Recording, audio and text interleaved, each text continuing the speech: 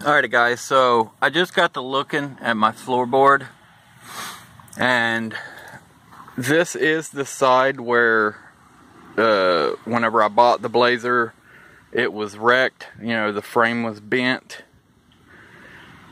Uh, it was bent, you know, in the front.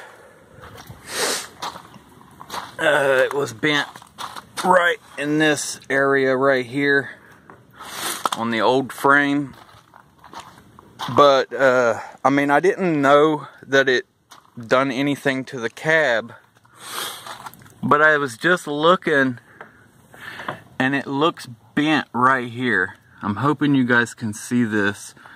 You see this crease right here?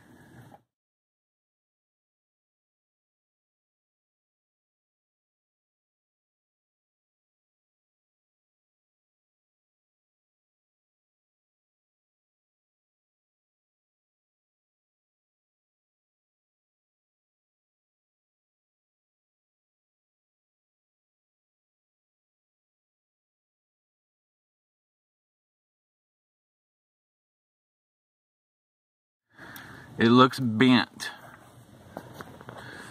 I'm hoping you guys can see that.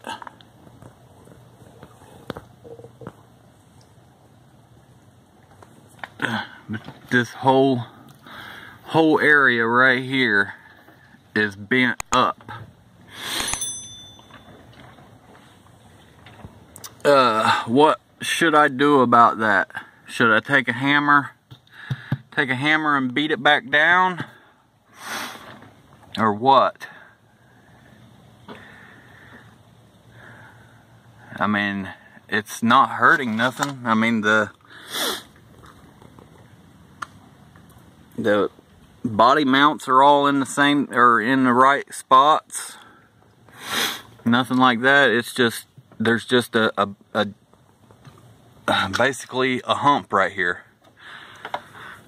So I mean, as of as of right now, the only thing I can think of is to take a hammer and beat that down some to flatten it out. Uh, I'm still trying to dry my carpet out. I'm trying to get this stuff here dry. It's still soaking wet, as you can see. see all the... I've been shoving towels under there and I've had the fan on it for the past three or four days now. Anyways, let me know what you guys think I should do. Should I take a hammer and knock that down some? Or what should I do?